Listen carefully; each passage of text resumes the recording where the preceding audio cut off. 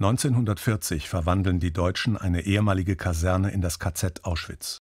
Doch dieses später sogenannte Stammlager ist nur der Anfang. 47 Nebenlager entstehen. Auch dort kommen tausende Arbeitssklaven für die SS zum Einsatz.